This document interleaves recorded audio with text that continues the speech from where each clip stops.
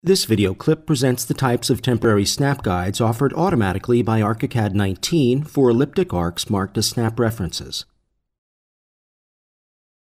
When you mark an elliptic arc as a snap reference, the following temporary snap guides are offered by ArchiCAD 19. The extension ellipse of the elliptic arc. The directions of the x and y main axes going through either endpoint of the elliptic arc. The tangent line to the elliptic arc at either of its endpoints. The normal line of the elliptic arc at either of its endpoints.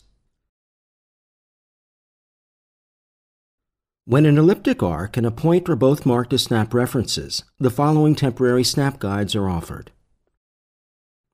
Either of the two possible tangent lines for the elliptic arc that go through the snap reference point.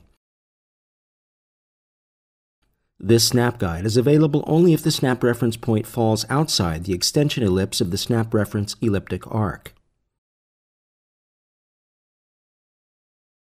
The normal line of the elliptic arc, or its extension ellipse that goes through the snap reference point.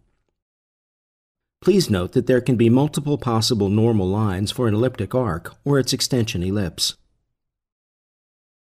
Out of these, ArchiCAD finds the one intersection point where ellipse is located closest to the snap reference point.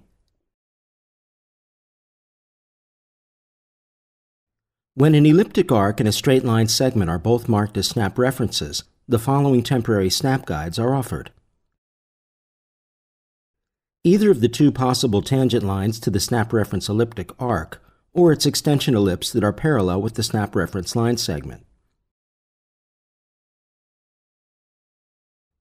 Either of the two possible tangent lines to the snap reference elliptic arc, or its extension ellipse that are perpendicular to the snap reference line segment. When an elliptic arc and a guideline are both marked as snap references, the following temporary snap guides are offered. Either of the two possible tangent lines to the snap reference elliptic arc or its extension ellipse that are parallel with the snap reference guideline. Either of the two possible tangent lines to the snap reference elliptic arc or its extension ellipse that are perpendicular to the snap reference guideline.